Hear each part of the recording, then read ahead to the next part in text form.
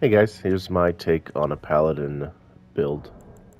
Stat line, which is largely because of this weapon choice that I have, is 50 vigor, 20 mind, 30 endurance, 34 strength, 50 dex, and 25 faith. Uh, paladin buffs themselves and their allies, and when it comes to which incantations to use to buff yourself, the bread and butter is Golden Vow and Blessing Boon. This increases your attack, your defense, and makes you regen health. You can bring another small heal with you. Uh, and then Flame Grant Me Strength is really raises your attack power, but it's a very brief it's a very brief time. So it's kind of like if I'm going into a boss room, maybe I stack that up. Uh, and then on, in addition, you could top this off with uh, either magic fortification or flame or lightning or divine, whichever the boss is trying to smoke you with, you can make yourself a bit stronger defensively against that should you choose. My stat line is to use the Golden Great Shield. I think that obviously that's kind of the paladin looking shield, and it's one of the best shields in the game. And then we use the Clawmark Seal whenever you're doing a strength faith hybrid build, it's going to be the best. Unless your faith starts to reach kind of outrageous levels, and then you could consider consider changing that. Armor is just fashion, paladin-esque fashion.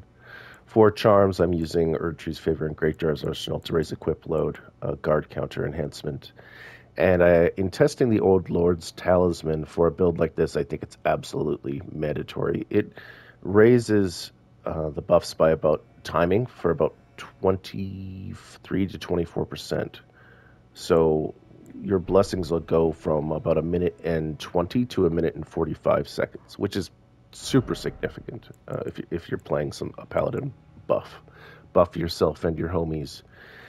Type build. The sword I'm using is the Godslayer's Great Sword. It is a colossal sword, despite having Great Sword in the name. Uh, I really, really like this weapon.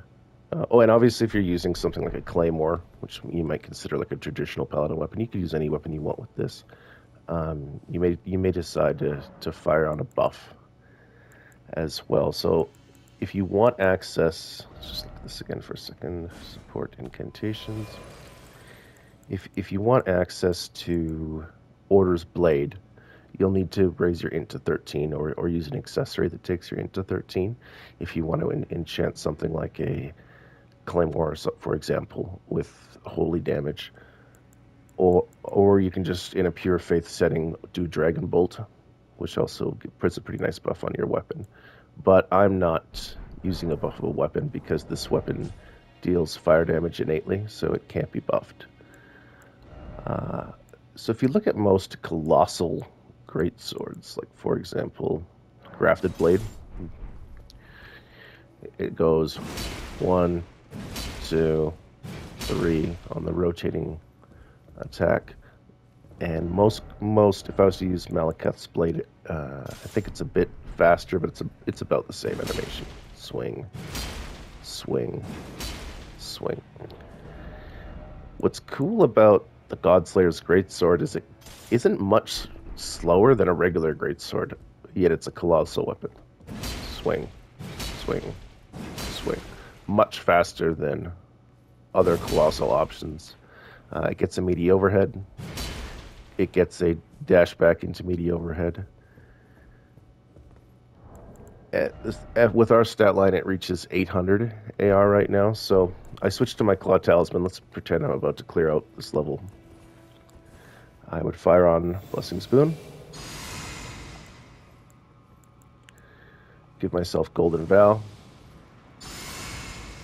for the next minute and 45 seconds. I am buffed. This weapon's hitting 920 AR now. Super good. Uh, and if I was going to head into a boss room, I could Jug Mana Pot. Stack Flame, give me strength. Boom. Now that but that's a short buff, but they definitely stack. I'm up to 1104 now, attack power but it's not very practical to walk around the level with that with the flame based one. It's uh, super cheap, and then after you're fully buffed up, you can always rest, you know, get all your mana back, and head out into the level, and you you were still we're still buffed here.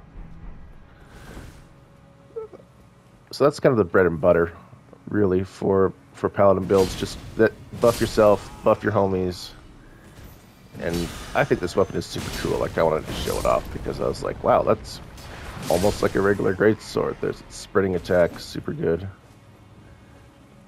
So it gets the perks of being a colossal weapon. Like if you slam the ground near low poise opponents, they will stutter.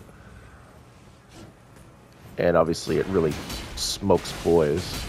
Um, it's just a really solid colossal greatsword. I really like this weapon. I think it's super super cool and like looks looks good for a paladin setup. Jumping attacks, also very clean.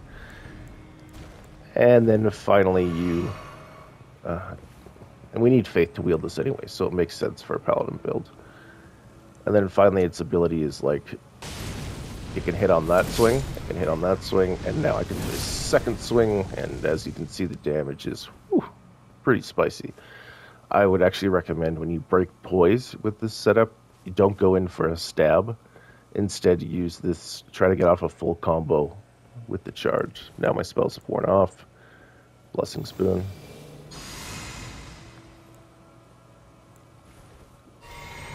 Golden Vow. Cool, rebuffed, moving on. Um, its guard counter animation is also an overhead, it's really nice.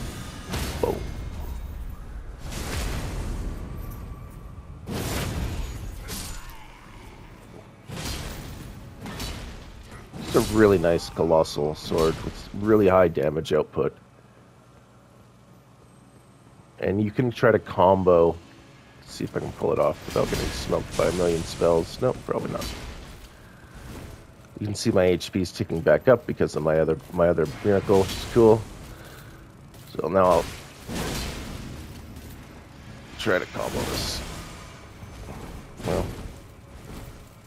We almost killed him, but it definitely did not display what I wanted to. Oh, these here so nasty when there's two of them and one of them is throwing discs at you infinitely. Alright, one on one now, baby.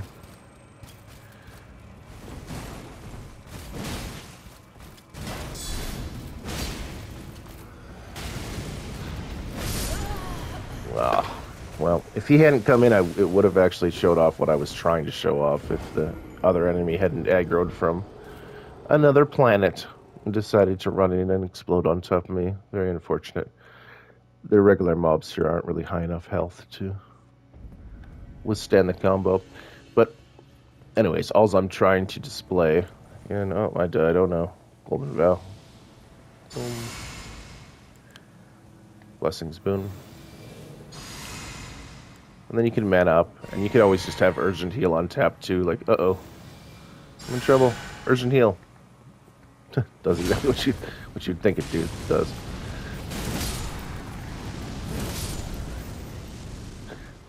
The ability is quite really devastating, and if, if you hit that full Black Flame combo, you you would deal roughly 4,000 damage if all three hits, because it is a three-hit animation hit. Uh, that's all. I think I've done a pretty good job showing off that weapon. I, I, it seems to me to be a cut above the other colossal swords. I was kind of thematically like, ooh, what about the royal great sword? But even it has a much slower, these really meaty. I can barely handle my weapon animations, which are fun, but I like this better. That's this this animation, other than the incessant hitting of the ground, is is not really that different in speed from just a regular old greatsword. So yeah, I think it's neat. Anyways, uh, I think that covers everything. If there's a cool miracle I missed, let me know. And uh, let me know if you have any sort of interesting weapon choices that are a little outside of the outside of the box. But you could use any weapon you like with this. And again, if it's a regular weapon, just throw on a weapon buff like the Thunderbolt, or you could put a little bit of int into the character if you want it to be a Holy Blade, which is particularly good against uh, Deathbirds and other undead enemies. And of course, you could always just use Grease as well to, to buff. I mean, that's what it's there for. But I, I don't know. I always hate using limited resources to to try to keep buffing my weapon. Anyways, let me know if you have any uh, cool choices I didn't think of. But that's that's the build. Very effective. I've done extremely well with this build in uh, in PVE. Thanks.